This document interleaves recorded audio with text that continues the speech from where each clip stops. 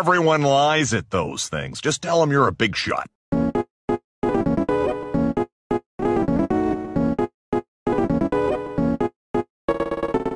Wait a second, Joe. That's a great idea. Boy, imagine what it would be like to be a big shot.